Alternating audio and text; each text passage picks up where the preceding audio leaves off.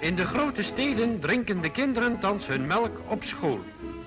Deze actie werd niet alleen ondernomen om te zorgen dat de kinderen de hun toekomende melk ook werkelijk krijgen, maar ook omdat verstrekking regelmatig op hetzelfde uur de beste resultaten afwerpt. De betaling geschiet naar draagkracht, terwijl min vermogenden gratis geholpen worden.